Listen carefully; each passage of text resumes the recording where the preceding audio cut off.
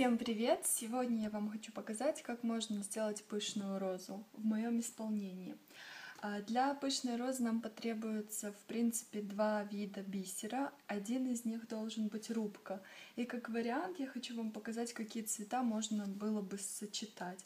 К примеру, вот такой а, темно-синий и а, синюю рубку. Потом красиво смотрится красный и красная рубка. Рубка, как вы знаете, переливается и блестит на солнце очень-очень красиво, поэтому ваша роза будет не просто большая, но еще и такая яркая. Также можно взять прозрачную рубку, а, то есть она белая вот такая вот, а, и э, с ней сочетать серебряный бисер, он посеребрен только внутри, или прозрачный, тоже будет красиво смотреться. Я же возьму золотой бисер, золотая рубка, и вот у меня осталось еще немного золотого бисера. Вот этими цветами буду работать я. Роза будет состоять из нескольких ярусов. И первый ярус это вот такие вот маленькие лепестки. Делаем их следующим образом. На проволоку, не отрезая ее от мотка, набираем бисер. Вот у меня, к примеру, пока что столько. Мы отмеряем 5 бисерин, 3, 5, и отрезаем. Отрезаем, как обычно, там 10 сантиметров кусочек, как вам удобно. И скручиваем. На этот раз, если иногда я показываю, что проволочки вот эти скрученные могут быть коротенькими, там где-то закрываться, теряться, то в этот раз можете взять кусочек подлиннее, для того, чтобы вся конструкция была постабильнее. И скручиваем их. Дальше. Делаем круглые лепестки. Это значит, сейчас я веду вот эту проволоку с бисером относительно вот этой оси, относительно основы, 45 градусов у меня должно быть. То есть прямо вот так просто раз, огибаю один раз, огибаю другой раз. Снова не путайте лицо с изнанкой, иначе будет не очень красиво выглядеть. Я делаю еще два ряда точно таким же образом.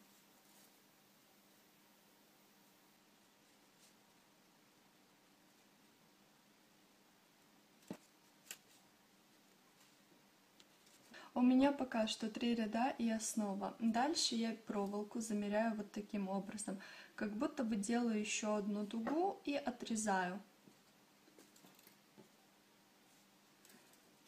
И вот на этот кусочек я теперь собираю стеклярус, то есть рубку.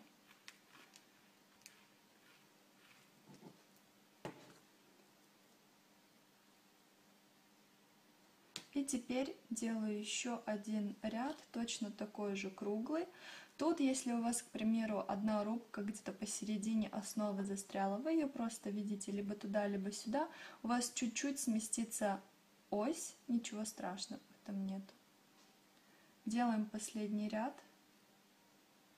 и закручиваем проволочки.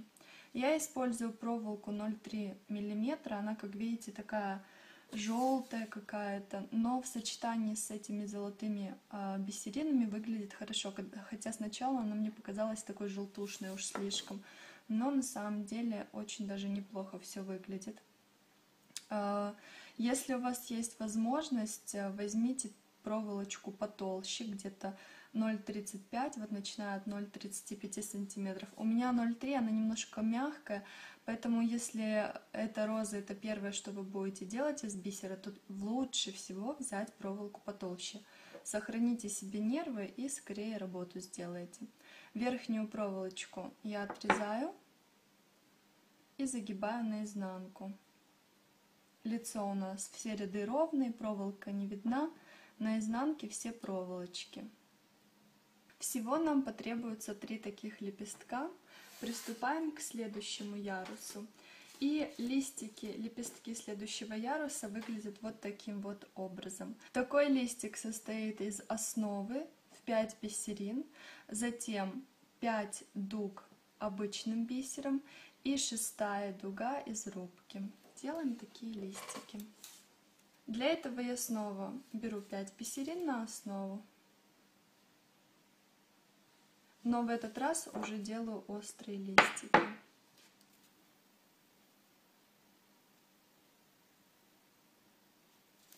Для того, чтобы сделать острый листик, я точно так же, как и в предыдущем варианте, тяну бисерную проволоку наверх, но оставляю небольшое расстояние между вот этой верхней бисеринкой на оси и верхней бисеринкой на бисерной проволоке.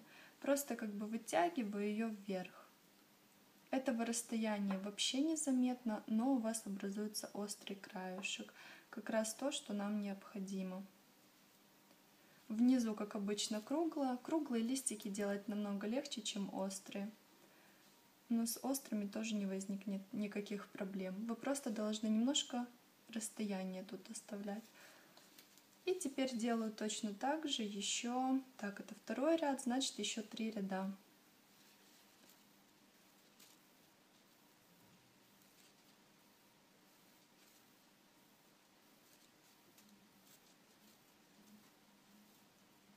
Теперь я точно так же отмеряю, замеряю, сколько мне необходимо для рубки и набираю ее на этот хвостик.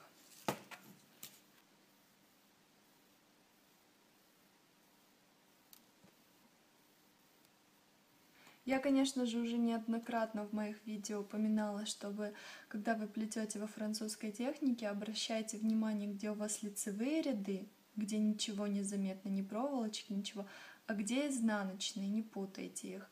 Но это упоминаю еще раз для тех, кто, может быть, впервые видит мое видео, поэтому, чтобы обращали на это внимание. Как вы заметили, этот листик от этого мало чем отличается, просто у нас теперь острый край и большее количество рядов. Следующий листик вообще от этого мало чем отличается. Это лист третьего ряда. У него также основа 5 бисерин, затем у него 7 дуг обычного бисера и восьмая из рубки. Вот он просто чуть-чуть больше. А, таких листиков мы делаем 3 и таких также 3. Пока у нас готово несколько лепестков, можем их сразу собрать, чтобы уже видеть небольшой такой результат. Для стебля розы я использую вот такую вот толстенную проволоку. Она сможет выдержать весь вес бутона. А, далее мне потребуются нитки золотые, или если вы хотите проволокой, можно будет все это соединять. А, пока что, пока вот этой вот э, нитки видно не будет под э, лепестками, я использую вот такую вот тоже она эм, какая-то такая оранжево-желтая но ее все равно видно не будет, поэтому можете хоть голубую взять. Сначала мы собираем вот такие вот а, маленькие, самые первые лепестки.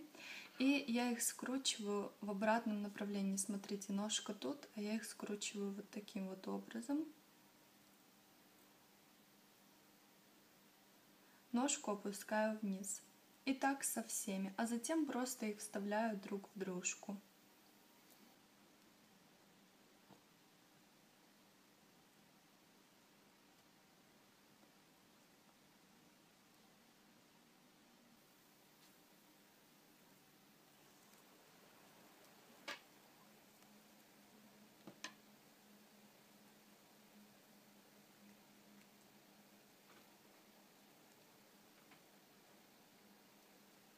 Далее мы берем лепестки второго уровня, это вот такие вот, и делаем следующее.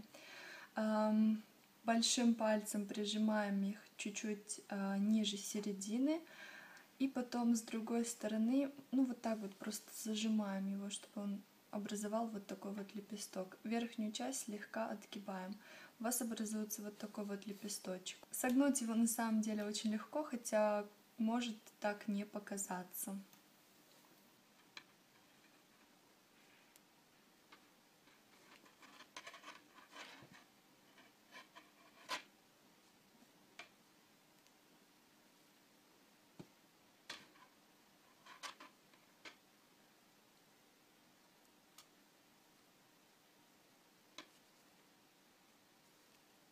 На данный момент выглядит вот таким вот образом. Вы как бы ну, в, прикрепляете эти э, лепестки таким образом, чтобы один листик перекрывал следующий, то есть один за другой цепляется. С лепестками третьего уровня мы делаем то же самое.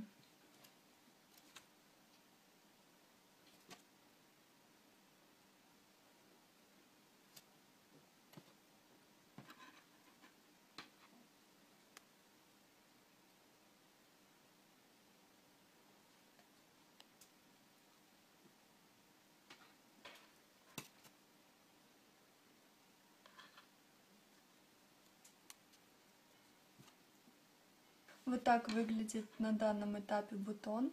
Если вы боитесь, что он распадется, вы можете а, либо леской, либо золотой вот такой проволочкой связать его где-то вот так на этом уровне, или просто зацепиться за несколько рядов, чтобы придать ему больше стабильности.